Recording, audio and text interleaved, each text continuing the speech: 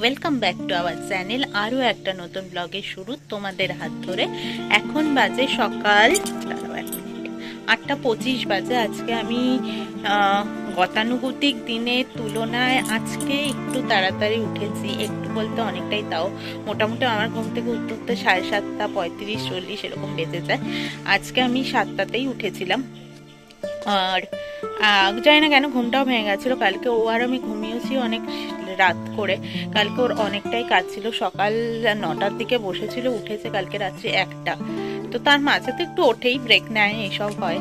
কিন্তু যাই হোক না কেন, কালকে অনেকটাই কাজ ছিল।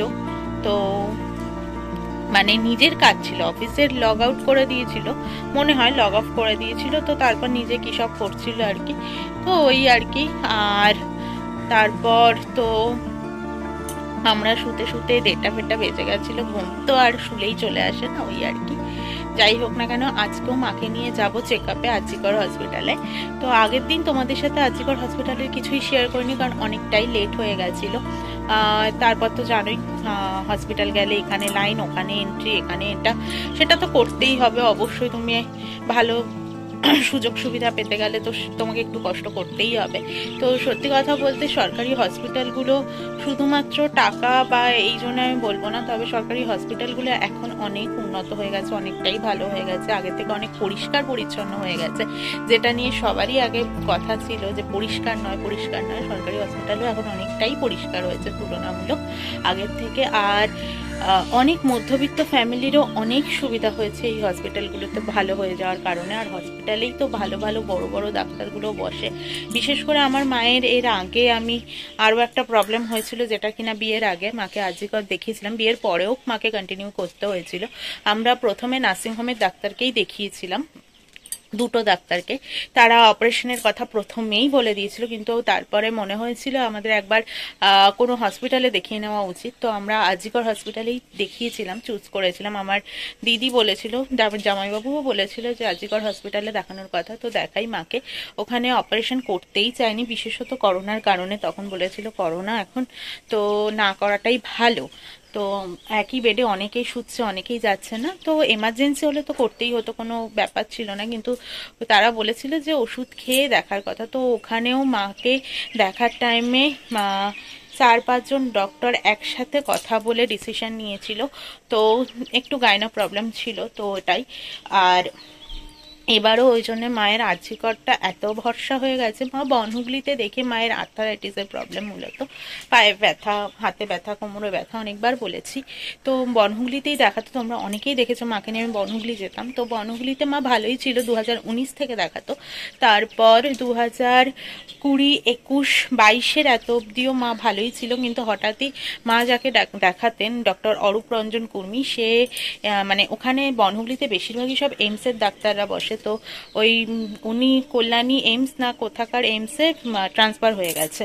তো ওই জন্যে এখন মাকে একজন ম্যাম দেখছিলেন। এবার দেখো, একজনকে বুঝতেও তো ডাক্তারের টাইম লাগে না। অরূপরঞ্জন কুর্মী মাকে অনেকদিন ধরে দেখছিলেন, উনি বুঝে গেছিলেন। কিন্তু এই ম্যামের ওষুধ মায়ের কাজই করছিল না। তাই জন্য খুবই ব্যথা হচ্ছিল। তো বললামই, একদিন সকালবেলা ডান দিকটা নাড়াতে পারছিল না, এরকম হচ্ছিল ব্যথা। তো ওই জন্যে তাড়াতাড়ি করে হাজি করে পরের দিনই দেখিয়ে নিয়ে আসা হয়েছে। তো মায়ের কোমরে ব্যথাটা অনেকটা রিলিফ পেয়েছে আর কি। মানে একদম কমে যাবে এটা আমরা ভাবতেও পারি না, ভাবিও না, ভাবাটা উচিতও নয়। তো ওই জন্যে মাকে এখন আজি করেই দেখাচ্ছি, আজকেও যাব। তো চলো তোমাদের সাথে অনেকটা বকবক করে ফেলেছি সকালবেলায়।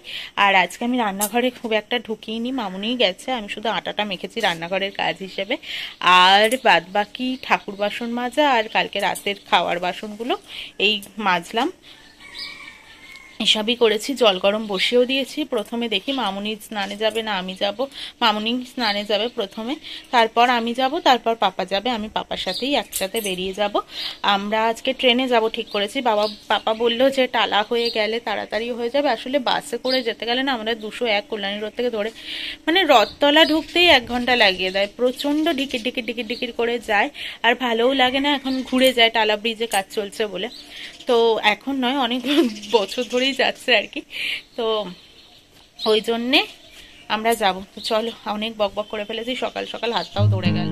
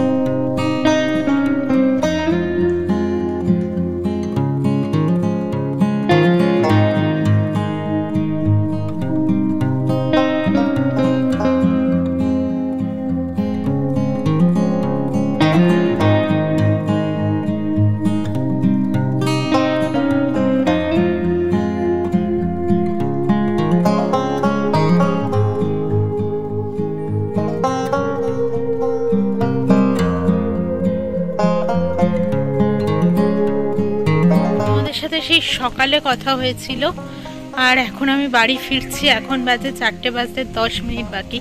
বেরিয়েছিলাম ওই পাপার সাথেই। ধরো এগারোটা চল্লিশ নাগাদ বেরিয়েছিলাম। এগারোটা চল্লিশ বলছি, দশটা চল্লিশ নাগাদ বেরিয়েছিলাম। আর চারটের সময় বাড়ি ফিরছি। হসপিটালে সবই ঠিক আছে, কিন্তু তুমি হসপিটালে আজকে যাবে ঠিক করা মানে হচ্ছে একটা দিন তোমার পুরো ওই হসপিটালের কাজের জন্যেই রেখে দিতে হবে। মায়ের আজকে ডাক্তার দেখানো হয়ে গেছিল ওই দেড়টার মধ্যে ডাক্তার দেখানো হয়ে গেছিল দেড়টায়, কিন্তু তারপরে মাকে কিছু টেস্ট এবার হসপিটালের নিয়ম আবার হচ্ছে হসপিটাল থেকেই টেস্ট করাতে হবে মানে করালে ভালো হয় আর কি। তো ওই জন্যে হসপিটাল থেকে আবার টেস্টের জন্য ডেট নিলাম, ওষুধ নেওয়া। এই জিনিসগুলো কত কত অনেকটা লেট হয়ে গেল, আর দেখতেই পাচ্ছ চারদিকে শুধু পতাকা পতাকা মানে এই ভোট চলে এসছে, আমাদের এখানে ভোট হচ্ছে রবিবার। তো আমি যাই, এবার বাড়িতে একটু জামা কাপড়টাকে ছেড়ে। আমরা বেরিয়েছি, আবারও বিরাটিতে ফুল অন এনার্জি মনে হচ্ছে, যদিও আমার শরীরটা খুব একটা ভালো লাগছিল এরকমটা নয়। তবে বেরোতেই হতো।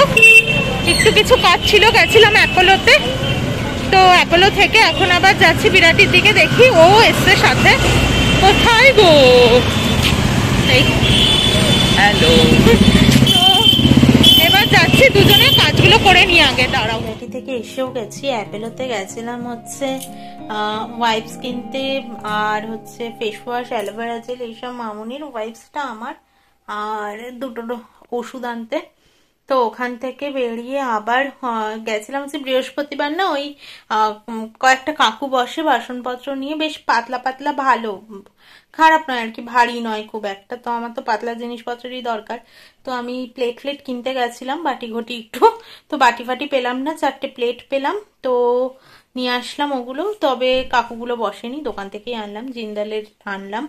চারটে প্লেট টাইপের ওই চারটে প্লেট আর মামনি বলল যে আছে ঘরের, টাঙ্ক বার করে দেখতে হবে, সব তো আর মামনি বার করে না, তো ভেতরে কিছু আছে, তো ওগুলো বার করে আগে দেখব। তারপর একটু আগে আগেই দেখব, নাহলে আর কিনেও নিতে পারব না। আসলে ব্যাঙ্গালোরে পাওয়া যায় না এরকমটা নয়, অবশ্যই পাওয়া যায়, কিন্তু ব্যাপারটা হয়ে যায় যে ওখানে ভালো স্টিল দাম দিয়ে কিনতে লাগে, তো আমার তো সবসময় দামিটা দরকার হয় না, তো ওটাই তার তো চলো, আজকে না, আজকে আর শরীরটা ভালোও লাগছে না, আমার খুব একটা। আজকের মতো এখানেই শেষ করে দিচ্ছে। আজকে রাতের তরকারিটাও মামুনি বানিয়ে রেখেছে জাস্ট রুটিটা করলেই হয়ে যাবে। তাও আটাটা মাখবে মামুনি, তারপর করব। চোখ মুখ দেখেই বুঝতে পারছ। যদিও এসে আমি একটু ঘুমিয়েছিলাম, তারপরেও হসপিটাল যা আর কি। তো চলো কালকে আবারও আসব একটা নতুন ব্লগের সাথে। আশা করব তোমরা সবাই ভালো থাকবে, আমিও ভালো থাকব। চেষ্টা করব ভালো থাকার, কেউ তো আর বলতে পারি না কালকে কি হতে চলেছে বা এক ঘণ্টা বাদেই কি হতে চলেছে। তো চলো, আজকের মতো এখানেই শেষ করছি। যদি কোনো নতুন বন্ধু চ্যানেলে এসে থাকো, যদি মনে হয় পাশে থাকা যায় তো অবশ্যই। আর যারা অলরেডি আমার পাশে আছে, তাদেরকে অসংখ্য ধন্যবাদ। তো চলো, আজকের মতো টাটা গুড নাইট